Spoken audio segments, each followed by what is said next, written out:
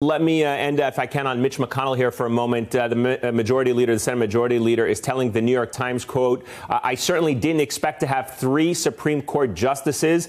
Uh, at the risk of tooting my own horn, look at the majority leader since LBJ and find another one who was able to do something as consequential as this." I'm wondering what your response is, especially since, as you mentioned, he could not gather his own party to support a COVID relief bill for the millions of Americans who need that help desperately?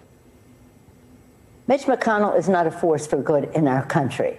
And if he thinks it's a source of pride uh, to rush a, a justice uh, into the Supreme Court in a way that uh, dishonors the court uh, and dishonors Ruth Bader Ginsburg, as a matter of fact, and he calls that an accomplishment, he is not in any way, shouldn't use his name in the same sentence with Lyndon Baines Johnson, who did so much for our country. They're rushing that person in there so that she can be there, oh, not this Tuesday, but the following Tuesday to under uh, to repeal the Affordable Care Act, and not only that, to be there, as the president said, for the courts to decide on certain aspects of the election, uh, to undermine our democracy, to overturn uh, the Affordable Care Act and the benefits contained therein, including the pre existing condition. And if he thinks that's a source of pride, it just shows you why he is not a force for good and he should not even beg comparison, instead, a big contrast with Lyndon Baines Johnson.